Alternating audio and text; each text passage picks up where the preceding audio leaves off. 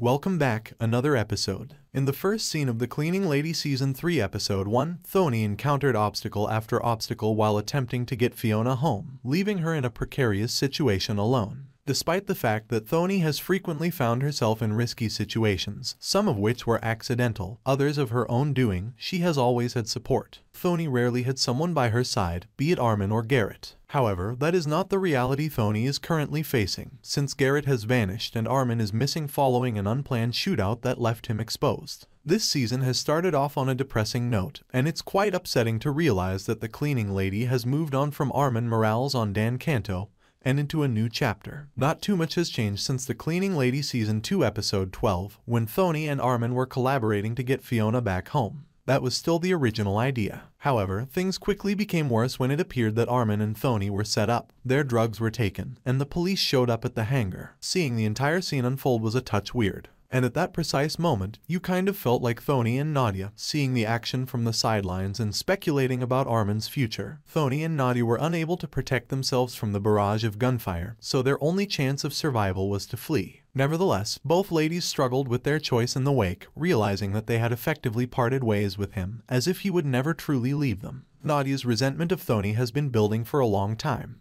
Not to go too dramatic, but when Arman met Thony, her life took a different turn. Is she really blaming Thony for everything? No, but is she right to believe that Thony has, in a number of ways, both directly and indirectly, taken a sledgehammer to her life? Indeed, even though we regrettably won't be seeing Arman on screen going forward, his apparent escape from the hangar and the lack of any concrete evidence of his whereabouts set up a major mystery to start the season, and allow for more development of the Arman character. With Camder roaming throughout Sin City, there was little time for moonlight dances and vows of love for any of them. However, Nadia and Thony's intense affections for Arman are evident in the way they overcame their disagreements and sorrow to work together and find him. When it's convenient for her, Thony has frequently used Arman, showing little concern for his well-being or even his feelings. She would always sacrifice Arman for whatever she saw to be the greater good, even if it meant defending her family. I had no idea what to expect from Arman's parents, if only because of their completely different personalities and perspectives on their son's separation. Teresa was caring and worried, even if she still complied with her husband's orders for the most part, but Eduardo was cold and heartless even in the face of his son's absence. It's amazing that Teresa never disobeyed her husband to see how Armin was doing during the previous 23 years. Their separation was obviously causing her a great deal of anguish, so she seized the chance to assist him when it became available. Eduardo's resentment of Arman was counterbalanced by his family's association with smugglers. He would not have approved of Arman's decision to enter the criminal world if he had no desire to interact with that side of the family. Although Thony's visit with the Morales parents didn't seem to have much of an impact, Natalia's life was ultimately saved by the jewelry that Thony stole from her. After three seasons, Thony's defense that she is only the cleaning lady is no longer effective. She had a cartel necklace on and was standing outside a smuggler's location, and she fully expected everyone to think she had no idea what was going on around her. The biggest bomb of the hour came from Ramona and Jorge Sanchez, who identified themselves as Eduardo's siblings and Arman's aunt and uncle. This implies that Armin has been living his life without even realizing how influential his family was. Even though Jorge was the one shouting and shooting, Ramona was clearly in charge. Take Fiona's entire ordeal as an example. Fiona was not worthy of being deported. She is aware of it. Thony is aware of it. It's known to Chris, Jazz, and JD. When it comes to Luca, Thony loses all sense and many others have to suffer as a result. Fiona gives Thony a lot of freedom, possibly too much grace, which makes her a far better person than most of us. Although Fiona is an adult who made a decision, Thony also placed her in such a trying circumstance. Additionally, she has been placing her in challenging circumstances for some time.